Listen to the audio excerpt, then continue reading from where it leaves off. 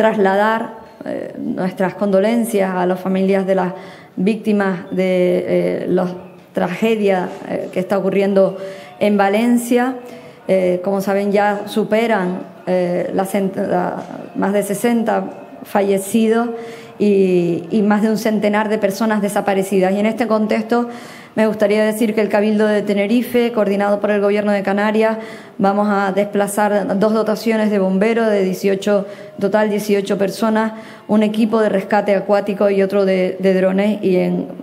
este momento pues ya en cuanto nos activen saldremos para, para Valencia y nos unimos al equipo de, que está desplegado en la zona para, para poder rescatar a las personas que pudieran estar desaparecidas y ayudar en las labores de, de recuperación de la situación que se está viviendo en Valencia, trasladarle, por tanto, nuestra solidaridad al pueblo valenciano y, y, bueno, sin más, pues, agradecerles a todos ustedes que recojan el ofrecimiento que ha hecho el Cabildo de Tenerife.